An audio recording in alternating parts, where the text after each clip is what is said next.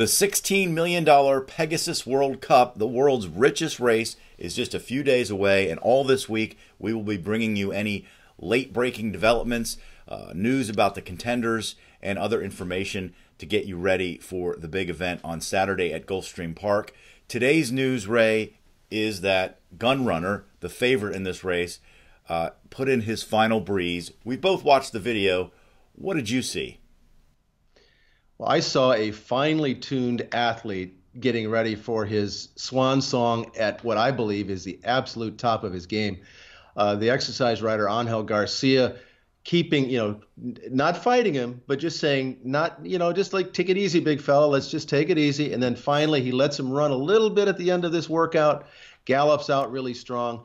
Steve Asmussen and Scott Blasi have done a fantastic job getting this horse to the Pegasus World Cup, I think, in the best condition of his life. He just looks fantastic. He looks so eager to run.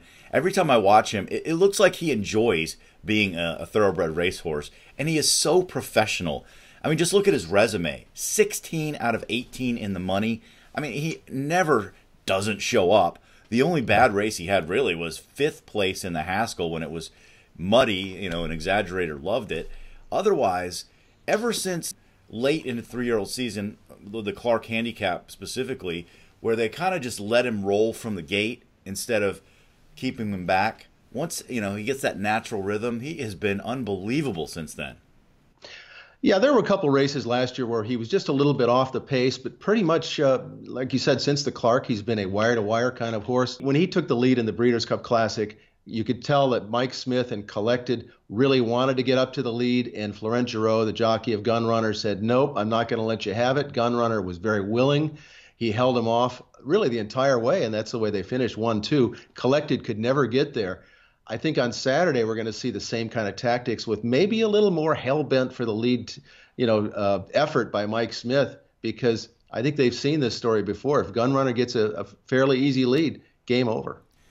Yeah, but I do think that what gets Gun Runner beat on Saturday is probably one of two things. One is post position, that mile and an eighth at Gulfstream, where it's quick into that first turn, and we saw what happened with California Chrome last right. year. The other thing is probably pace scenario. Uh, I don't think it's the racetrack uh, because Gun Runner has gone all over the place, and he always shows up. So I doubt that Gulfstream Park is going to be an issue for him. I think it's one of those two things. We'll find out on Wednesday about the post positions. Well, in this year's edition, as opposed to, to the inaugural last year when you had really a two horse race, California Chrome and Arrogate, I think this year the contention goes a lot deeper of, of horses with a very legitimate chance. Of course, Gun Runner is going to be the heavy favorite. Collected has a chance to do it if he can get to the lead. The horse that Jorge Navarro trains, named Sharp Azteca, winner of the Cigar Mile. A lot of questions about his getting the distance, but he is as, he's as sharp as can be right now. And then Bob Baffert, the trainer of Collected, also has West Coast, the presumptive three-year-old champion of 2017, who really looked good over the weekend.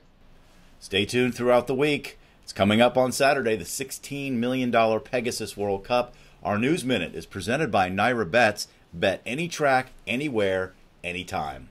Thanks for joining us. We'll talk to you tomorrow. NYRA Bets is the best play in online horse racing and betting. Bet from anywhere, anytime using your computer or mobile device. Earn valuable reward points on bets. Play in our exclusive promotions. Sign up now. NYRABets.com.